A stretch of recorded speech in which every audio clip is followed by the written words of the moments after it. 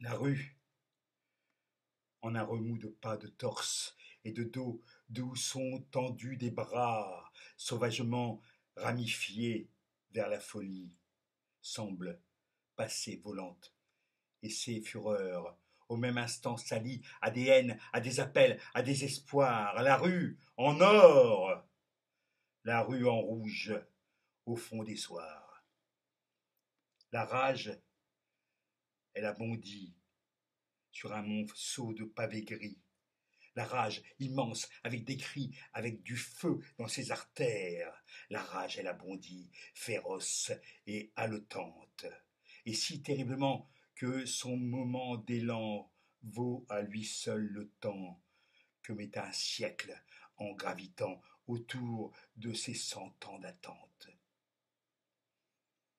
Tout ce qui fut rêvé jadis, ce que les fronts les plus hardis vers l'avenir ont instauré, ce que les âmes ont brandi, ce que les yeux ont imploré, ce que la sève humaine silencieusement renfermée s'épanouit aux mille bras armés de ces foules brassant leur houle avec leur haine.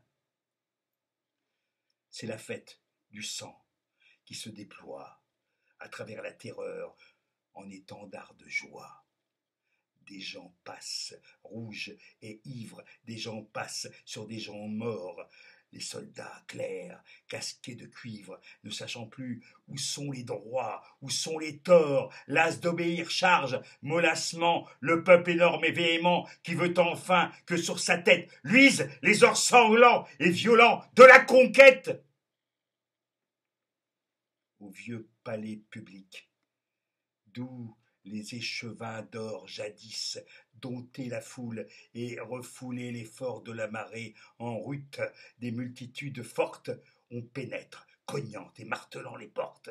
Les clés sautent, les gonds cèdent, et les verrous des armoires de fer ouvrent de larges trous où s'empilent par tas les lois et les harangues. Une torche soudain les lèche avec sa langue, et tout leur passé noir s'envole et s'éparpille tandis que dans la cave et les greniers on pille, et qu'on jette dans les fossés du vieux rempart des morts coupant le vide avec leurs bras épars. Tuer pour rajeunir et pour créer, ou bien pour tomber et pour mourir, qu'importe, passer, ou se casse les poings contre la porte et puis, que son printemps soit vert ou qu'il soit rouge, n'est-elle point dans le monde toujours haletante et par à travers les jours la puissance profonde et fatale qui bouge? Émile Verhaeren